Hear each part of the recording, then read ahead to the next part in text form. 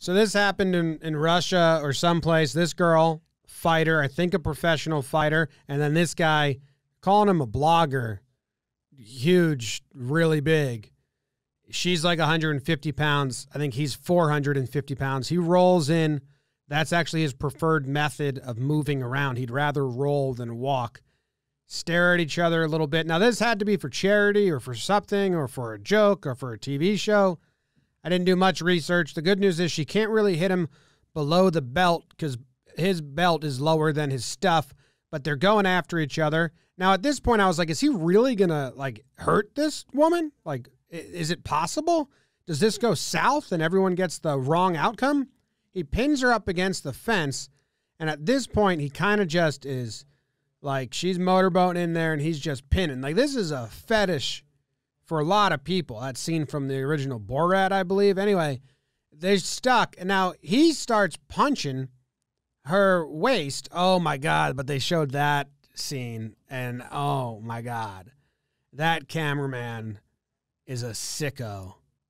And he should be like looked into. So he starts punching her and he starts kind of landing these right on the side there. And then the fake ref dude says, "Oh wait, wait, wait, wait, wait, She's supposed to beat you. Otherwise, this whole thing is not funny.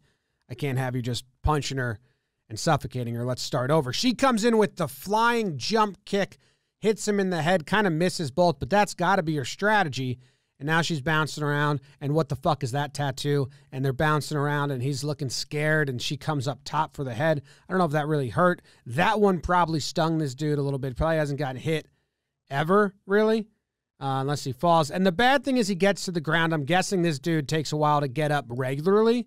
So when someone's punching him in the face, it's probably going to take even longer for him to get up. Like this dude gets to the ground he's kind of pinned himself to the ground, you know, and she's just pounding and he's tapping. And let's go back because the tapping, I think he gets like five taps in.